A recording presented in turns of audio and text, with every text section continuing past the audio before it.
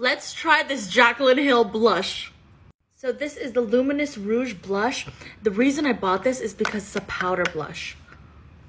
I mean, I'm there must have been powder blushes before, but not recently. So I was like, oh, I'm interested.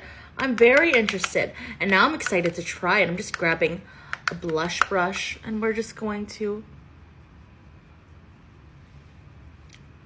This is in the shade Lover Boy. Oh, and I love her, boy.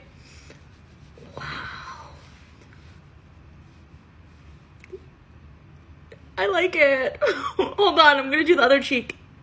I really like it so much that I'm gonna buy other shades. Let's try the highlight next. What do you think?